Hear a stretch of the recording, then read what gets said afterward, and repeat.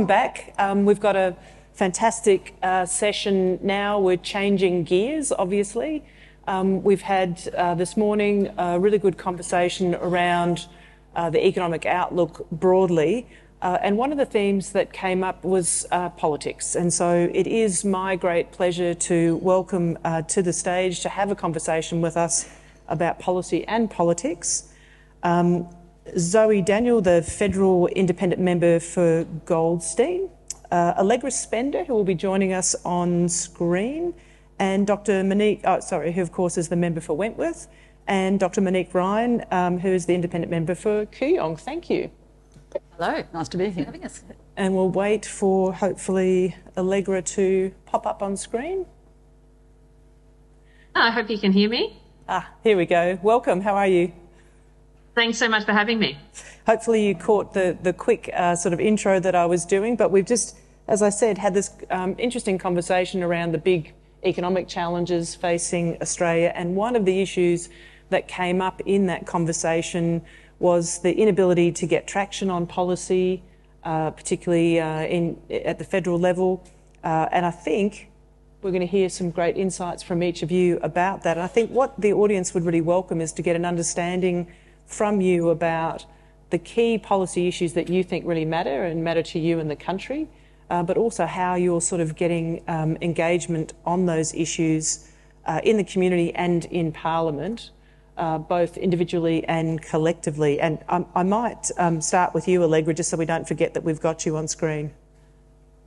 Okay. Uh, look, um, thank you so much for the introduction. I'm sorry I couldn't be there personally. Um, look, you know, I was absolutely uh, with um, my colleagues uh, voted in, in Wentworth to stand up for you know key issues in relation to climate, in relation to integrity, um, and in relation to a more diverse parliament that better reflects the country, um, but also very much on the idea of long-term decision making um, with it, with also within the economic sphere. And so for me, while I've focused you know on how to make the climate policy better and hold the government to account on in that area in particular, um, and work with colleagues around integrity measures, I've probably spent um, I've probably spent more time in than others perhaps on focusing on particularly tax and productivity and IR really because I think that these are some of the conversations that we haven't been able to have because of, I think, the politicisation and the, the wedging that goes on between the major parties, which means that so often we actually don't have the more thoughtful, complicated and nuanced um, policy debates that we really do need to do um, if we are going to address, um, you know, our long-term economic um, health, um, particularly in relation to productivity. Uh, so that's, um, you know, what I'm trying to do is make a virtue of being on the crossbench and the ability you have on the crossbench, you know, not to have to rule in, rule out at every um, second moment and say, okay, let's, you know, we're, we've started a conversation on tax, we've established roundtables with, um, you know, with academics, with um, business groups, with unions, with you know ACOSS, with others, um, and said, okay, what are problems with our tax system? And you know we're we're going to be releasing a green paper later in the year on tax in a way that you know I wish the major parties would get to, but you know because of this the political climate they haven't, and I think that's a great opportunity on the crossbench is actually to to push those agendas um, in a way that you know I think the the major parties have forgotten how to. Yeah, um, Zoe. Yeah, I, I think Allegra and, and, I think in a similar way uh, about these things. Um, perhaps the way that we prioritise our thinking is slightly different, but having been elected on pillars of climate, integrity, equality, and prosperity, everything falls under those for me. Um, my thinking is really around the visionary arc, so not three year terms, but where do we want to get to as a nation? One of the reasons I got into politics was because I don't think we have that. Uh, so all of my thinking and my actions in the parliament, and indeed the conversations and actions in the community, are about how we achieve uh, a robust, renewable, clean economy, how we achieve a more equal society, and unlocking the potential of those cohorts that are not unlocked, specifically women, how we achieve appropriate governance and transparency and accountability in government and in business and how we achieve intergenerational equity so that we leave something better for our kids.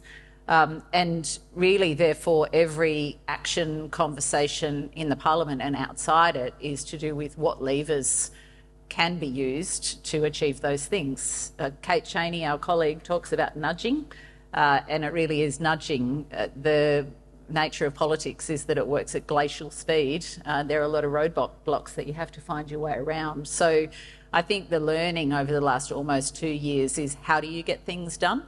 Uh, and we don't have the balance of power in the lower house, but I think that I can say that we have all achieved things by going through back doors and figure, figuring out how to do things even without the balance of power. Uh, and there's a lot more to do, but that's a work in progress. I'll, I'll come back to that observation on, on getting things done. Monique. Yes. Can you hear me okay without the microphone? Great, thank you. So I, I, agree with the others, and one of the things that people find interesting about this expanded crossbench in the 47th Parliament is the fact that we're all independent, but we are still able to work collaboratively uh, and constructively together, and that's something that people ask us about a lot. But it is something that we do, and I think it's important to note that we all come, those of us who are new to this Parliament, come from lived experience in different industries, which I think really informs and helps the work that we're doing uh, both in our communities and in Canberra. So, you know, that for mine, yes, I was elected because of climate change and frustration with the government, previous government's inaction on that. And I wanted integrity and transparency in government, and I wanted greater equity. We talked in the uh, electoral process mainly about gender equity, but now more and more we've been looking at the issues of intergenerational inequity. For me, I come from a healthcare background, and that's the industry that I know well. I was a medical researcher, so I understand scientific process. And as we sort of work out who does what, who takes on what, and how we address the, the really significant issues that the country is facing, I can see that I can have an impact on the care sector because I get it. I've worked in healthcare and disability care for 30 years, and I understand what works and what doesn't, and that's where I feel that I can focus my activities, but we're all looking at things through the same lens, which is how to decarbonise our economy, how to you know make it more renewable and sustainable, and how to ensure that the next generation is not the first Australian generation which is worse off than its predecessors. So we, we do come at it from different angles, but it's very complementary, and the way that we work together, I think, I, I think, is, is very effective. Mm. Just a reminder to the audience, if you haven't already logged on, log on to ask your questions, the Pigeonhole app. You can do so off the QR code. Got some questions rolling in, so also vote on the questions uh, because I suspect there's going to be a few uh, coming through. Um, this issue about the way Canberra politics and Canberra operates, um, and the language that, that's already come up in terms of uh, long term vision and the lack thereof, um, transparency, integrity as distinct from the, the usual business of wedging and the politics, um, you know, is obviously something on everyone's mind, like how you get through that. In the previous session, uh, one of the ideas put was that four-year terms, uh, as a for instance, would be the way to go. I'm interested in your views on that, uh, but also perhaps just a little bit more colour about, you know, how how you actually uh, use your influence um, and you are seen as, as a group, but also have different um, individual sort of priorities and different individual um, constituencies that you have to um, communicate with and represent. So, just interested in, in a, a, little bit more on that, and also the question on, on four year terms. Um, Allegra, do you want to kick off there? Uh, sure. Um, I, I, think, uh, you know, we all, I mean, I certainly share some of the frustrations about how Canberra works. And at the same time, I think that it, you know, certainly talking to people who have been in, in politics, in media for much longer than I have, they're saying, look, this parliament is actually one of the one of the better ones. It's actually really it's moved both in terms of its culture, but also um, you know in terms of how it treats different people. It's its inclusivity. So I think while I feel um, we have a long way to go, I feel like we're already starting to have an impact. Uh, to jump to four year terms, first off, um, you know, I'd, very support, very much support four-year terms, but I also don't believe it's panacea. And you know, I'd look at the state governments to say they're not bastions of perfect long-term thinking and um, and administration and and competence to say that that is the only way um, to achieve real accountability and effective, you know, government and decision making. Um, I think that um, we've got to look at other things. And you know, for me, this is about a constant renewal of democracy. Um, and, and that's, I think, to be honest, where the crossbench is really great. You know, you look at institutions that I think are really important, such as the Parliamentary Biz, um, Budget Office, um, the um, NAC, you know, which Helen Haines really championed. And it's it's actually looking at what are the institutional responses as well as the cultural changes. You know, and I, and I think from an institutional response piece, um, I think the pressure that you know others like are playing in terms of you know pressuring around you know. Um, uh, um, making sure that we understand who's in the room, um, sort of from lobbying. You know, Helen's work on, um, for instance, uh, you know, how to make greater accountability in terms of, you know, government spending. Those things I think are really important to have, um, you know, sort of some institutional responses, but also, you know, having, um, I think culturally, you know, we all have responsibility to, you know, consider how we speak, how we act, how we weigh into conversations, and how do we do that in a way that keeps on bringing the country together um, rather than dividing. And certainly that's, you know, how I'm trying to do it. And I also think we need to constantly think about how can we do government differently. And, you know, I've been a champion of, for example, citizens' assemblies, um, because um, as as an idea of bringing randomly selected Australians together to debate um, and come to a consensus around difficult policy issues, not because they will always have the perfect answer, but because actually coming together, listening, and building consensus is a very powerful, I think, counter to the the splitting. I think um, that is so prevalent. But um, you know, I've, I want to hear from my colleagues who have much more thoughtful things to say. But those are some of my opening um, reflections on this. Monique, a bit, bit, a bit of your sort of perspective. I'm interested also in the sort of motivation for the who's in the room. Well, the yeah, so I think four-year terms would be good. I think fixed terms would be good. The reality is that if you're a politician, you spend the six months before any election preparing for that election, and your um, attention will be away from the political process. I think we've the plan is that the government's going to lodge 16 to 18 pieces of legislation in the last two weeks, and I think this forthcoming week, and then that's it. We've been told that that's it for the rest of the year, which is really problematic when you look at all the things that we haven't seen yet like legislation about gambling advertising and the like, because it looks like we're not going to get to that before the next federal election, which is a bit heartbreaking for people like Zoe and Kate who've been working really hard on that. It's, it's a, a difficult thing. You can only do so many things at a time, but so much of our time is distracted by the electoral process that I think that anything that stretches that out would be good. Mm. Having said that, there are complexities associated with that in terms of how that impacts on the, on the Senate um, and, and, their terms. And, and, as Allegra said, it's not going to be a panacea for all ills. Um, the who's in the room question, it's, it's a pretty simple one. There's 15 lobbyists in Parliament House for every politician.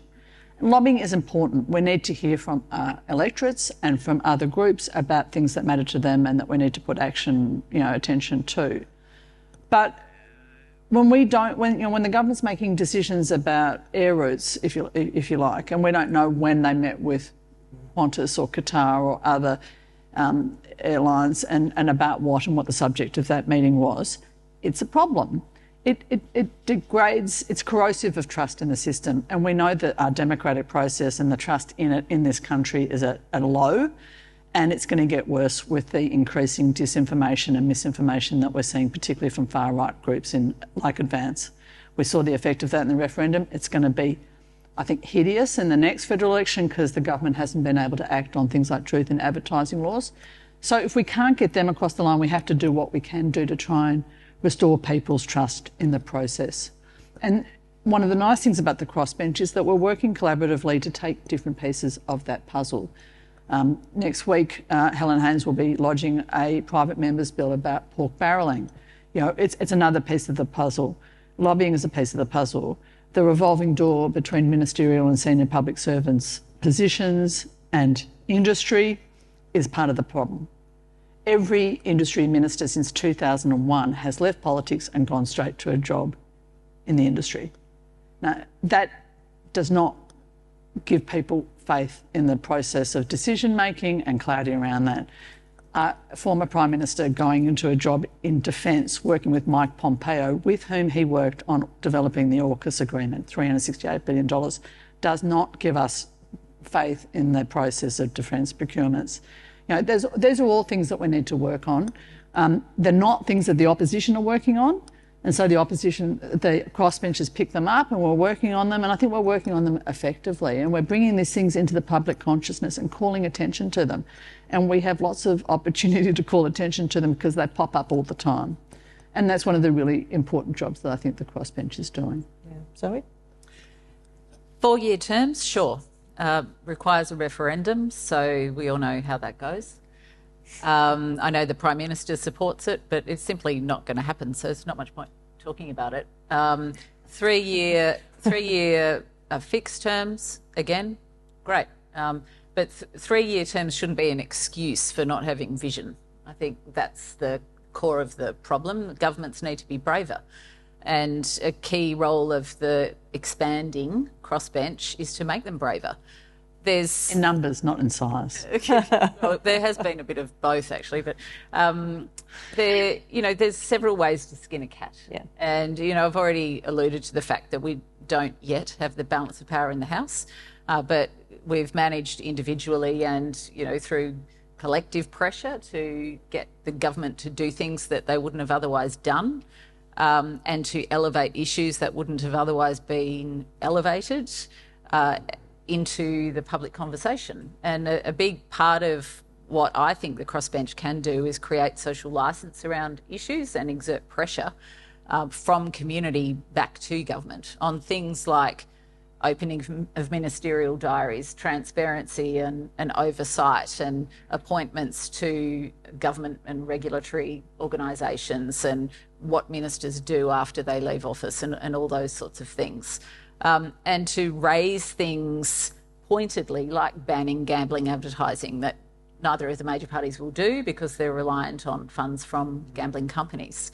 Um, so we find ways around the system uh, to either amend legislation by pushing things up to the Senate if we can't get it through the House, or making an argument to government around changing policy. I think one thing that's been useful in not having the balance of power in this iteration of the Parliament is that there's no transaction involved. When one of us goes to a government minister and says, There's a gap in your law here or your policy, this has to be fixed, the conversation is not, well, I need your vote, so what do you want me to do? The conversation is making an argument, a solid argument for the change that needs to be made. So it becomes more of an intellectual process rather than a transactional process. So no matter what happens with the arithmetic after the next election, we've built that. We've built the ability to do that. And personally, I'd like to get away from that transactional politics of I need your vote, so what do you want? Mm. Um, and particularly coming from an electorate like mine and, and the others are similar, where it's different to, say, being Jacqui Lambie, who goes in and says, Tasmania needs this, and for, for my vote, I need you to do this. And Jacqui's quite open about that, and Tasmania does need things. Mm. Um, but my electorate, although there is a level of need, has bigger picture thinking about visionary policy and they're the kind of actions that um, people want to see movement on, and the expectations of me are to prosecute that big picture thinking and to force the government into a braver position and to communicate to them that this is what people want, and your job is to do uh, what they want to secure a prosperous life for their kids. Yeah, that that language about the sort of Oh, sorry, uh, Allegra. I just want to add a couple of things um, to that. I think the point that Zoe just touched on in the end um, was about community. I think is actually really critical. And I think, you know, where did I come from? You know, where did, you know, Monique and Zoe came from? You know, we all came from community and very, very connected to community. And you, you see that in the response to stage three tax cuts, which affected my electorate negatively more than any electorate in the country. Um, but it's actually sort of coming, getting, bringing politics back to, well, what does the community feel? Are they informed? How do they do that? I actually think that is an extremely powerful way of of holding all governments to account, and also for for all the all members of parliament to realise there's no such thing as a safe seat is again extremely powerful as a motivator for politicians to be better connected um, to community. I think that is going to you know I think that's huge play for this this piece. And and just the other point I wanted to make was, um, you know, when it comes to um, dealing with some difficult issues, and I'll use Services Australia as an example, where we've had really bad service of Services Australia. You know, we've had I've had constituents saying they've been on the phone literally for two hours, um, waiting and then get chucked off. But the problem is the coalition can't go after the government on Services Australia because they will just say robo-debt. And so because they've all been in power, you can always just call each other's hypocrisy on an issue. But because we, you know, we haven't had that situation, we can sit there and say, you know what, I'm not, I don't have an axe to grind, a, a, legacy to defend. I can just say my community has had it with this, this level of service and you need to do something about it. And, you know, we really pushed the government minister to, and the whole crossbench actually in the House got behind um, a push on this and, and saw, you know, the government um, make a significant additional investment. And so I just think that's, that kind of having that clean skin, but also that um, community link is a is you know something I think in politics in this country we really need to build on because it also helps our social cohesion and also people feeling they've got a stake in politics, um, which means that you know they they will be more engaged and actually you know our citizens are our best defenders I think of our democracy. And I think sitting within what you just said too is just a, a recognition of the relationship with the community, not the transaction with the community which I think if I sort of think about pork barrelling, so, you know, so much in the past seems to have been about this transactional piece around one term, one election. But I think what you're sort of talking about is understanding the community and building the relationship with the community and having them feel heard and then bringing that into the conversation in, in a constructive way um, is sort of a, a really powerful message. But I want to join a couple of things here to pick up on the two top questions. So number one, this point about a visionary arc is really resonating. We, you know, the language that, that we're starting to use at CEDA is about being sustainably brave. You know, how do you drive these long-term, persistent policy changes that you need to see that aren't going to be in a, in a straight line? Um, but also, you talked about legacy, right? And so the question is is really about, you know, how do you how do you drive this mammoth task of the visionary arc? How do you bring other stakeholders into it? And to link it to the legacy question, the second question is around or was, it's just moved, but just the immediate sort of rejection of carbon pricing um, as, as a, an approach to dealing with decarbonisation. And of course, there is legacy and lots of, you know, axes to grind there. Who wants to pick up, you know, like as, with that as an example, is it something that you can, can lean into? Um, how are you thinking about that? I'll, I'll, I'll start. Um, and I'll, I'll kind of start with the general and then I'll, I'll let the other two go to the specifics. But I think that, you know, one thing that's very liberating about being a, an independent member of the crossbench is that you're not beholden by party politics or the position of your party on anything. And therefore, you can step out a lot further on things. And you've seen, you know, Allegra's stepped out on tax reform. Um, Mon is, you know, really pushing this accountability around lobbying, and each of us have our, our piece of that. Um, and so, on something like carbon pricing, I mean, I think we're all on board with the everything on the table tax reform idea, and carbon pricing has to be part of that. You know, I'm not going to sit here and say, oh, I'm going to prosecute the idea of a carbon price because I know that'll be on the front page of The Australian tomorrow if I, I, say that. But the thing is, I'm also not going to sit here and say we don't need it because I think most reasonable people would say that's the obvious pathway. Um, the two major parties won't do it or don't want to do it for political reasons, not for economic reasons, not for pragmatic reasons, just because there's sort of post traumatic stress around what happened last time. And that's a real limitation to forward thinking policy making. And, you know, one of our functions is to call that out at, at every level across the board. And, you know, just before I hand over to one of the others, you know, in terms of the sort of visionary arc and, and visionary thinking, you know, one thing is to sort of prosecute that bravery with whoever's in, in government and almost enable that national conversation to allow them to step into things that they otherwise wouldn't. Because once you start enabling a national conversation around something and the major parties go, oh, actually this is landing quite well, maybe we can step into this, that then you start getting forward movement. Um, but then, of course, there's also the practical levers. And, you know, one of my big policy focuses is uh, economic empowerment of women. And so, really, I'm just going through every piece of legislation, adding a gender lens. So, economic, you know, gender equality in the objects of the Fair Work Act, tick. A gender lens over Jobs and Skills Australia legislation, tick. Uh, consideration of venture capital into female led companies in the National Reconstruction Fund, tick. You know, next, 52 weeks of paid parental leave, superannuation on paid parental leave, the ability for women to top up their superannuation when they return from paid parental leave, universal early childhood education and care to enable 50% of the uh, workforce to actually step in properly.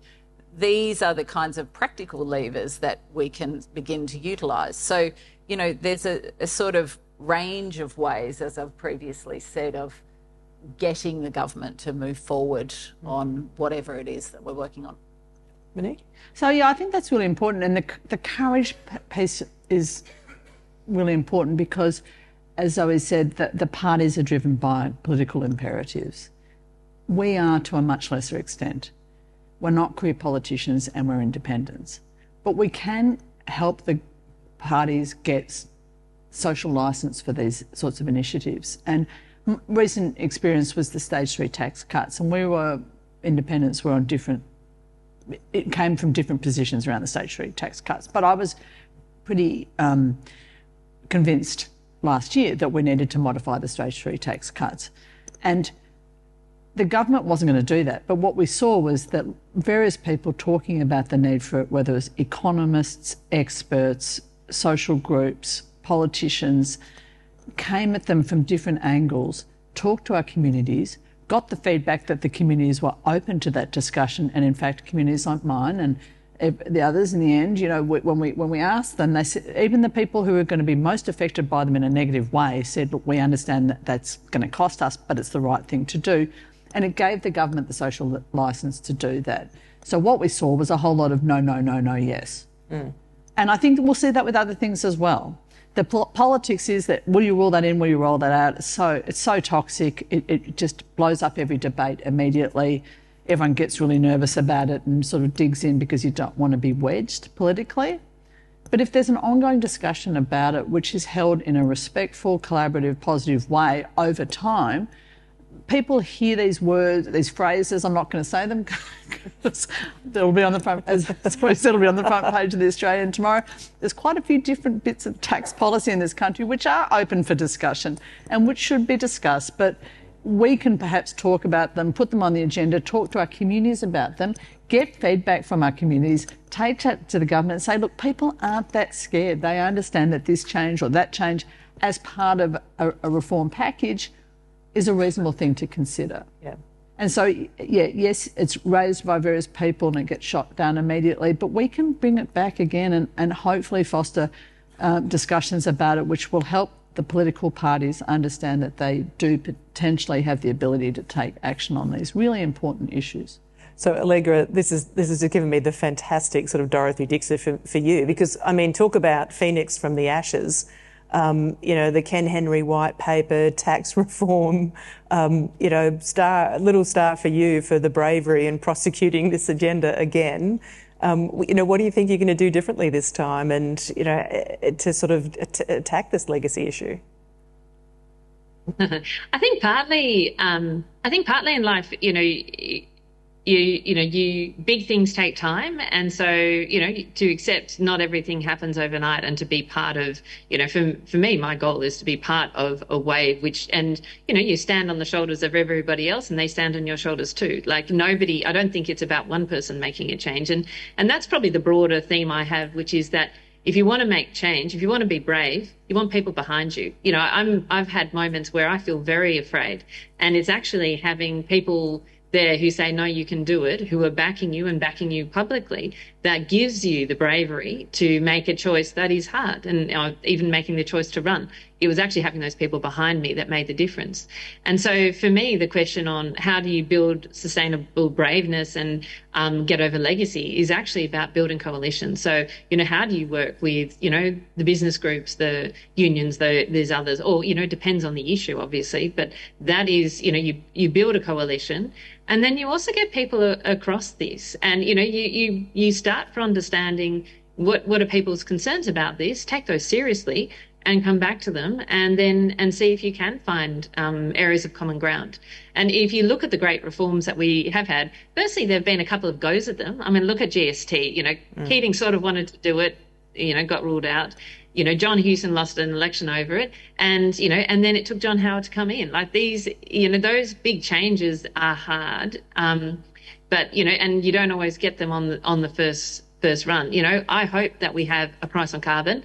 And a, a broad price on carbon, I think, is the right price. You know, whether it's a tax, whether it's expanding the safeguard mechanism to, and you know, bringing in all the different trading mechanisms, you know, that is the right decision if we're going to move as fast and as cost effectively um, as we can. So we should absolutely have this. And, you know, I've said we need a price on carbon, we still need one. And, you know, I, I, you know, I'm still, you know, it's, it's okay. And I think the more that we say this, the more that people go, yeah, you know what, there's a, there's a good reason for this. So, you know, people, you know, the world has changed even since, you know, since Gillard times on carbon price. You know, you look at, you know, the BCA used to be the biggest um, sort of anti-carbon action. In the last election, you know, they were brave in the sense that they actually reversed their position from the previous election and say, you know what, it's better for this country to take action than not. And so I think that's what we need to, you know, to to say and to foster is that it is better to make the right decision and sometimes you made the right decision, but it's too early. You know, you've got to, you can't be afraid of coming back to it. And I think that's the opportunity of the crossbench, but actually it's the opportunity of, of people um, like yourselves and everybody in the room. You know, you guys all have that power to bring that conversation back and say, you know what, just because you've had it before doesn't mean we need to have it again. Yeah, yeah, a good challenge for us as well. Um, throughout a lot of your introductory comments, I think from each of you, there is a reference to intergenerational equity. Um, keen to sort of understand um, what that looks like and what, what you think the priorities are, and and I guess really the interest of your electorates in sort of driving this this change and this focus as well, Monique. Yeah, so it's it's a real problem, and for, I guess for mine, I think you know our tax system is um, it, it favours people with established wealth, uh, and it disadvantages younger people who are, you know, they're the ones who are generating income and paying income tax to a higher degree um, than other parts of this economy. Then they've got the challenges of housing availability and affordability. They've got the cha- challenges of a narrowing tax base with an ageing population, which is going to need more and more aged care. And then they've got the challenges of climate, the remediation and um, action on climate change. So, you know, it, it looks like a, a, triple whammy. And then they've got HECS. So, you know, you look at the 20 and 30 year olds and they're coming in and they're really just pulling their hair out and trying to understand how they're going to make things meet and, you know, and, and, and uh, you can see the inequity. I mean, Ken Henry called it out in his report, and we haven't done anything effective on it since that time to any significant extent, and you know it's gotten worse. So they're all things that we need to work on. Yeah, all, all, all, those things I just listed are things that we need to look at, governments need to look at and take action on to uh, shore up the futures for uh, the next generation. And my electorate is an electorate which has changed. You know, it's been looked upon as a traditional blue ribbon conservative liberal electorate. It's not that anymore. If it was, I wouldn't be here. Uh, it is a, a, part of the world where there's increased medium density housing, there's, there's, there's increased young people, but there's more and more young people as well. And I've got two at home who are young adults who can't afford to, to move out of home and they can't afford to rent or to buy. And they're struggling with HECS debts. They're, they're not, you know, young people aren't completing their first degrees and they're scared to go on to another degree because they're just going to accumulate more debt and they don't know how they're going to pay it back. You know, there's all this sort of, it's a triple, quadruple whammy situation and it's up to us to fix it for them. Mm. Zoe, anything to add? Uncertainty, instability, and inequality. That's what our young people are facing. And not only at a sort of domestic economic level, particularly in relation to housing, but also with climate change hanging over them and uncertainty around what the future looks like. And that means that, to Allegra's point, we need to look at things that have been brought forward and have been politically unpalatable in the past and consider, well, maybe community attitudes to these things have changed. Certainly under Gillard during the sort of carbon tax era and also Bill Shorten's aspirations around things like negative gearing. Those were shot down for political reasons, and perhaps the community wasn't ready for those things. But my sense is on both of those things, there's been substantial movement in community attitudes because the vast majority of people understand that we're in a climate crisis and understand that we're in a housing crisis and understand that we have to change things to manage those things for our kids, our, our grandkids, and the future of our environment um, and our economic prosperity. So sometimes it it takes almost a, a, generation to achieve these kinds of policy shifts, and that gets back to our issues with short-term political thinking. That once something has failed politically, the major parties just go, "Oh well, that's shelved. We can never even utter the word negative gearing again in a policy speech." Um, but if we don't start to address these issues, the people who will pay are our kids. And, you know, I mean, I was very reluctant to run for Parliament, and it was my son who said to me, Someone's got to do something for us, Mum. Yeah. Um, and, you know, if there's no other reason to be here, that's it. And I remind myself of that every day. Um, I'm going to move on to one a, a final question. I knew we were going to run out of time, um, and I'm trying to figure out how I can pull together threads from about five different questions to come at this final question. But it goes to the issue of culture um, and culture change, which I think sits around sort of all of this in terms of. I think you spoke about it, each of you, in, in different ways in your opening comments. Um, one of the questions in here reminds us that you're sort of referred to as the prefects uh, in Canberra. I, I would personally own that if I were you, but but there's also a question that goes to the fact that you're not career politicians, you come from different sectors. And so I'm, I'm just I'm trying to bundle these together to get a perspective on how important that is to changing the, the culture of the way things are done in Canberra. And I guess maybe for our audience there's going to be some lessons in this as they're trying to be to drive change or innovation in their own organisations, what it feels like to be that that different voice. Um, can I start with you, Allegra, to manage that big elephant of a question? A huge one. Um, look, for me, actually, it really is important. Um, one of the things I think is the biggest challenge in politics is you become so distant, um, you know, when you're in Parliament from the issues that affect people day to day. You know, you get these wadges of legislation, but what really matters is how it affects people. And that is why I think we actually um, in different ways. We need to bring the community more closely into Parliament, and that I think you can do that through both through sort of having much more strong community links as politicians, but also through having you know different people with different experiences in the room who who come at this with some of that lived experience and still remember what it was like to be on the receiving end um, of a wodge of legislation rather than, than just being a drafter or an advisor to it. Um, and so, you know, I'll use IR. I used to run a um, you know, fashion business and a different not-for-profit. So every lens I look at sort of through industrial relations is sort of saying, okay, how does this work practically if I'm running a business? How does this work for my workers? You know, and, and, and I think that, that piece is, is pretty, pretty important. So I think that is, you know, how to, to do that's pretty, is, is vital because on the other point that we're talking about, which is making fundamental change, politicians generally aren't brave. They will do things that their communities want them to do.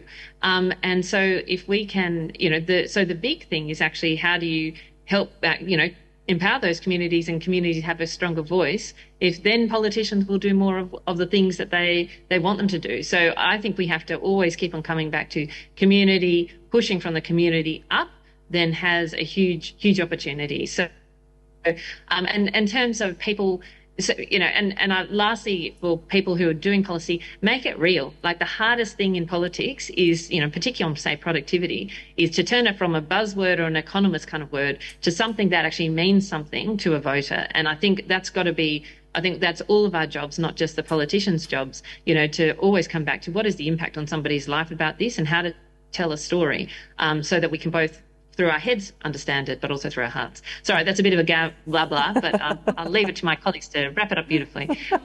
Monique? Well, I think the cultural thing is really interesting. And, you know, the culture of Parliament House is an interesting thing which has been under the focus in recent weeks in particular. All we can do as um, representatives of our communities is to try and represent our communities as, as best we can. In terms of the prefects thing, I was not a prefect. I was a bit naughty. Um, but and, and I have a tendency in Parliament House when it gets like really adversarial and I want to join in. Yeah. But I'm lucky because Allegra sits next to me and she was a head girl. and she says to me, no, no, no, Mom, don't do it. You know, don't get caught up. And it is really, it would be really easy in that place to get caught up in it. But really, it's sort of to have to take it back to first principles. As Allegra said, why are we there to represent our communities? You know, not to get into argy-bargy with people who are putting out nasty tweets about you. So that's really important. But the more of us who are there and who are trying to you know, the Michelle Obama thing, when they go low, we go high. It's not always easy, but if we can go high, it, it'll, it'll, it'll represent our communities better, but it will also improves the, the tenor of the conversation. So, what, we really want is a government which is evidence based, looks at the science, makes the right decisions for the, the, the country as a whole, rather than the decisions that are best for that political party. And I guess if we can do that, then that will speak to the question of our legacy, but also the durability of this model. It's not going to be easy, but if we can do it, it'll be an incredibly valuable contribution. Now I know why you, they're calling you prefix if you bring that framing to it. Zoe, the final word in 30 seconds or less? Uh, look, I think our our role is to restore trust, um, and I think that's actually the central thing that's missing. And we do that by putting people first, putting community first, and by being real and speaking the truth. That can be hard. That, that can be quite challenging. We get cut down, all of us, we get cut down every day by doing that. But if we can begin to restore trust in leadership by playing a role which is creating accountability, transparency, bringing reality and some standards back to politics, we, we will have done our job. And if there was one umbrella theme when I was running before the election, it was lack of trust and the need for integrity in politics. And so that underpins everything. And that goes to the kind of bravery that we need to show. Um, and the thing is that in many ways, it's courage before confidence. You know, we can never feel completely confident in everything that we're doing. Um, and I'm sure all of you, as leaders, know that sometimes you step into something and you think, oh God, am I really doing this? Um, but someone has to step out. Um, someone has to take that first step to bring everyone else along. And I think that's the role that we play. Oh, that's a fantastic way to end this um, session. Certainly a lot that um, aligns with what we're trying to do at CEDA. And I have heard the challenge about the role for us to be uh, braver and more courageous in supporting um, the, the endeavour of the, the, sort of visionary arc. So, um, can you join me in thanking our panellists?